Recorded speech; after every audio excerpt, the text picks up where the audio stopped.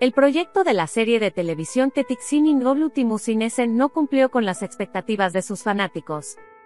La serie Tetiksini Noglu, Son, inicialmente complació a aquellos que buscaban una producción llena de acción en la temporada 2022-2023.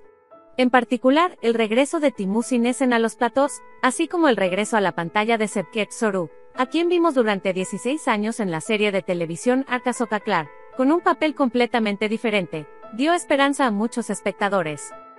La serie Tetiksini Noglu fue un proyecto importante, especialmente para aquellos que esperaban con ansias la actuación de los dos actores principales.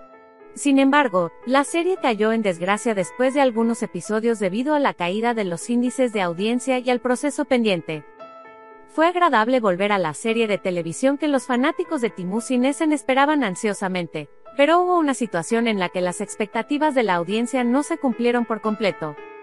El hecho de que fuera eliminado de la pantalla con el episodio 7 de la serie de Fox Televisión, en el que Yenko Osaki y el dúo Bahar Shahin llamaron la atención, confundió a la audiencia. Bahar Shahin dijo en su declaración que filmaron ocho episodios y les dieron un receso de temporada.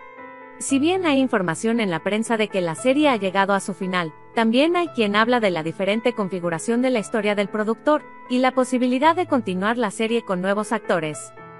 La importancia de la serie de televisión Tetiksini Noglu fue muy importante para los fanáticos del actor, ya que Timu Sinesen regresó a la pantalla después de la popular serie de televisión Ekimoglu.